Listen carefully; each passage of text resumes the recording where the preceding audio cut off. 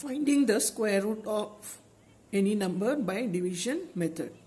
For that you need to remember what is the square of these numbers. Square of 2 is 4, square of 3 is 9, square of 4 is 16, 5 25, square of 6 is 36 and so on. At least up to 10 you should remember.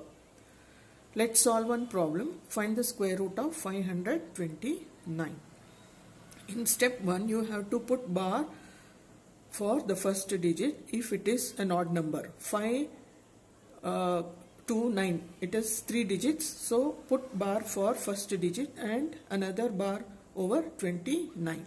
If you have 4 numbers to find you should put bar for 2 2 numbers.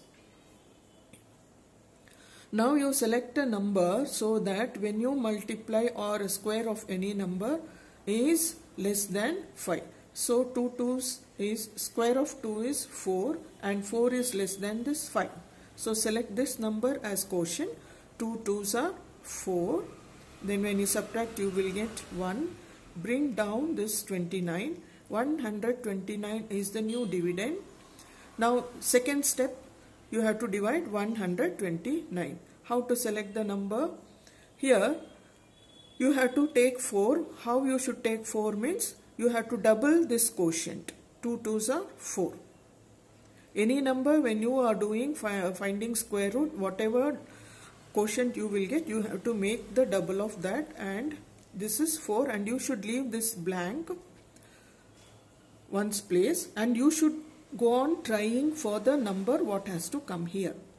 So, and you have to select the number here also a square itself like 42 into 2, 43 into 3, 44 into 4, 45 into 5 and so on and you have to do it until you get this number. So we don't know. Let's try with 2. 42 into 2. If you take 2 here, here also there should be 2. If you take 3 here, here also there should be 3. 42 into 2 is 84. 84 is 2 smaller than 129. So try next number.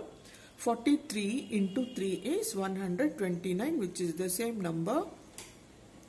So when you subtract you will get 0.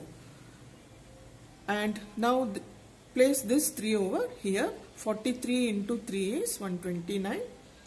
Therefore, this is the quotient which is the square root of 529. You can check your answer by multiplying this one. 23 into 23 is 529. So, our answer is correct.